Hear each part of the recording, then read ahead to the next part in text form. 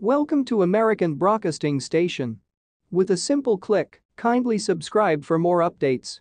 The fastest aircraft is known, Lockheed reveals details of hypersonic fighter jet that was brought to life. Hypersonic planes have been on the priority list of the US military for quite a while now. Lockheed Martin's SR-71 Blackbird was the fastest fighter aircraft ever built, and ever since its retirement in 1998, the US military has longed for its worthy successor. Meanwhile, there is indeed a Blackbird's successor, the SR-72, also known as the son of the Blackbird, which is being developed in Lockheed's Skunk Works facility.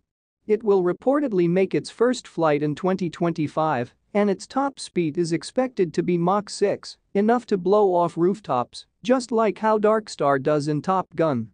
Apparently, the dark star looks so real that even China felt the need to turn one of its satellites to photograph the fictional model, according to legendary filmmaker and Top Gun producer Jerry Bruckheimer, who claimed to have been informed of this by the US Navy.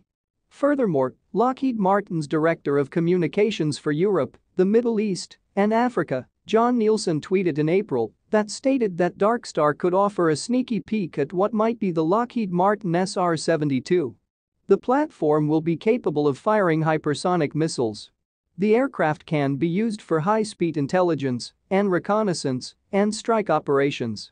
Its high speed combined with hypersonic missiles means no enemy missile defense systems will be able to stop the SR-72 in combat. The reconnaissance fighter is being developed to make it so fast that an adversary will have no time to react or hide from it.